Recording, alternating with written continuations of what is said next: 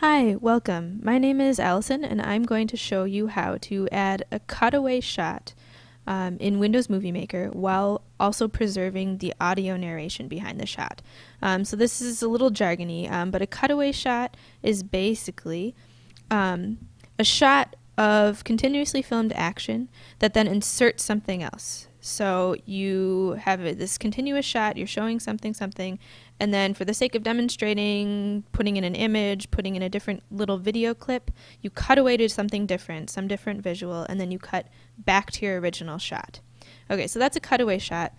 I'm going to show that in this video I'm making here on the State Fair and the history of the State Fair where I'm kind of sitting here as a talking head at the whiteboard explaining the history of the state fair, but at some point I want to cut away to a historic image of the state fair. I want to show that for, we'll say, maybe seven seconds, and then I want to cut back to the this video of me narrating the rest of the history of the state fair. All right, so the cutaway shot, the way you can do it in Windows um, Movie Maker is a little bit uh, roundabout, um, but it definitely works. And the idea behind it is that you want to sandwich your cutaway shot with two copies of this sort of intro framing shot, so me at the whiteboard. I'll have a second copy here, and then I'm going to put my cutaway shot in the middle. Then I'm going to trim the shots on either end so that my cutaway shot sits there for seven seconds in the middle of it all. And then I'm going to add back in the audio narration underneath that cutaway shot. All right, so let's go ahead and add a second copy of this original framing shot. All right, so here's a second copy. This is the beginning of this process. Oh, you'll notice when I added my second copy, it uh, ended up upside down. That happens sometimes, just rotate it, not a problem. Okay, so now I have two copies of this original they look a little weird in this. Um, but two copies of this original framing shot. And this zone right here is where I'm going to add my cutaway shot. So this is sort of this critical zone where I want to add this historic image of the state fair and cut away to that. So I'm going to go ahead and click add photos and videos and I happen to have the photo right here. It's a JPEG. You could use a PNG file. Um, so I'm going to put that in and that's a photo. And you'll notice um, by default we can check under the video tools here the duration for this photo is going to be 7 seconds. So that's a Windows Movie Maker default. Not a bad idea. Alright, so leave that in there. Now, the next step of this all is to take note of um, where you want to split over to the cutaway. Alright, so I'm going to go ahead and watch my video. Um, I can go through the timeline, just hit play. And uh, let's say I decide to um, cut away maybe at this point here. All right, so I'm going to go ahead and set this as the end point for my video, and then this cutaway shot will scoot up to the end there. All right, so I'm going to hit set end and you'll see that now my cutaway shot is a little bit closer to um, my video here. And at this point is where I'm going to go ahead and display that cutaway shot. So I can go through and we'll see I'm talking, talking, cutaway, and this will play for seven seconds. There's currently no narration behind this cutaway shot, but it will play for seven seconds.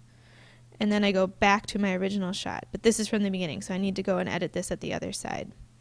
All right, now what I want to do is I want to check how long exactly and at what point exactly did this cutaway shot start.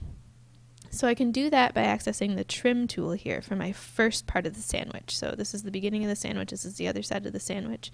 Go ahead and access the trim tool for this first part. And you'll see that I started the cutaway at about 57 seconds. All right, so 57.23.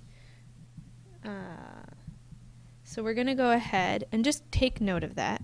I can just cancel out of this. I'm just doing that to just double check. And then this is going to last for 7 seconds. And then I need to cut back to my video again seven seconds later from where I stopped the cutaway. Um, so then I just need to make sure that 57.23 plus 7 is, that's going to be 64 seconds, 0.23 basically.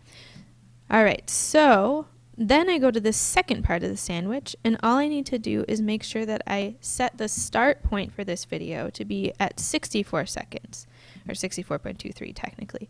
Um, so basically you'll just notice I've gone, played this whole duration, set my cut point here, cut away to this shot, and then I basically skip second, second, seven seconds and then start this second video seven seconds later. All right, so I'm going to go do that by setting the, I can go into the trim tool and set the start point here to be 64.23. All right, save trim. And then I'm going to play till the full end of the rest of the video. So that's not a problem. So you'll see if I start here, play the video, I'm going to cut away for seven seconds. This will have, currently has no narration. We're going to add that next. Watch that for seven seconds. And then we get right back to my video where I was narrating at the whiteboard. All right, so that's a great cutaway so far. The only last thing to do is to go back and add the audio back in. And so I'm missing audio from 57 seconds to about 64 seconds. And so that's what I need to go and add underneath this cutaway right here. So I can do that by heading to Home. And under this Record Narration button, instead of recording, I'm going to choose Add a Sound. And the sound that I'm going to add is actually my original video file, but I'm going to strip the video from it and just add it as a sound. So it's a little counterintuitive. You're actually adding the video file, but the only part that you're adding from the video file is the sound part of it. All right, so I'm going to click Add a Sound. I'm going to go back. Oh, you'll notice I don't actually have any sounds in here. That's because it's all videos. But I can go ahead and change from audio and music. It's going to try to detect that to video files, and then those will show up as things that I can use as sounds in my video. So I'm going to grab the video um, track that I was using as my sandwich here. And you'll notice it got added in, but this time not as a video, just as a strip of sound here underneath. It's the same length as the original video, it's just a sound narration. Now all I need to do is trim the front end of this, just so I get the 7 seconds that I care about to cover up this cutaway right here. So the 7 seconds that I care about are from 57.23 seconds to 64.23 seconds. I can choose that here in Narration Tools under Options and set the start point, not the start time. The start time is where in the timeline it's going to go. Um, but the start point to be 57 and the end point to be 64. All right, hit enter there and you'll notice that my clip was trimmed perfectly to this perfect length to cover this the rest of this uh, cutaway shot. So this, we're pretty much done now. You basically see that you have the video starting, this beginning of the sandwich here. It's going to cut away to my image, my cutaway shot here, but play the um, video narration, the seven seconds that are relevant to cover that up. And then it's going to go right back to the original video and pick up where we left off, skipping those seven seconds that were covered by the cutaway shot here. One last thing, I used a still image here for my cutaway shot.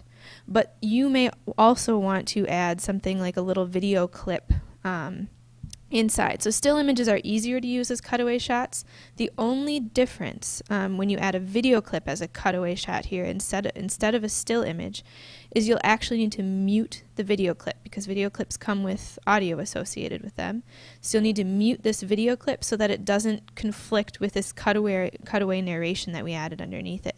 So all you have to do for that is here, change the, sorry, it's not under narration volume. It'll be under video volume here. This is a still image so you don't see it. But if this were a video here as, that I'm using as a cutaway, I could go ahead and mute the video volume here and just not have any video associated with my cutaway clip and just keep the narration from my underlying um, original framing clip here. All right, I hope that helps you add a cutaway. It's a little tricky, a little bit of a workaround in Windows Movie Maker, but it definitely does work. Thanks for listening.